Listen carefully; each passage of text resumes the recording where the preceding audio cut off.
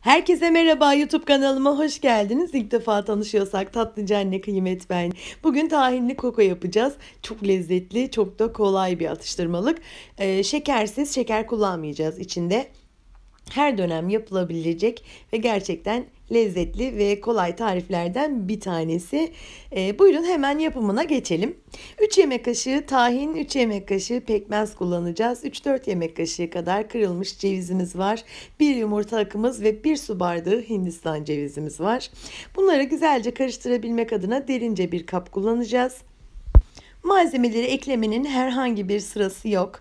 E, videoda gördüğünüz gibi hepsi e, sıralı bir şekilde eklenebilir. Bir yumurta akı, bir su bardağı hindistan cevizi, 3 yemek kaşığı dolusu tahin, 3 yemek kaşığı dolusu da pekmezimiz var.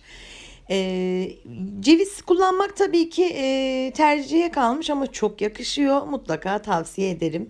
3-4 yemek kaşığı kadar iri kırılmış ceviz e, içinde mutlaka olmalı diye düşünüyorum ben. Hepsini bu şekilde karıştırıyoruz ve e, ele hafif yapışan e, bir hamur elde ediyoruz. E, eğer daha sıvı gelirse mesela yemek kaşığında pekmez ve tahin biraz birazcık daha mesela fazla eklenmiş diyelim. O zaman çok az daha Hindistan ceviziyle toparlayabilirsiniz.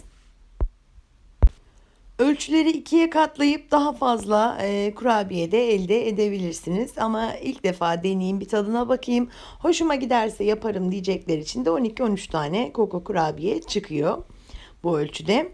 Özellikle rejim zamanlarında e, yapılabilir ama normalde de e, yapılıp tükene, tüketilebilecek e, güzel kurabiyelerden bir tanesi.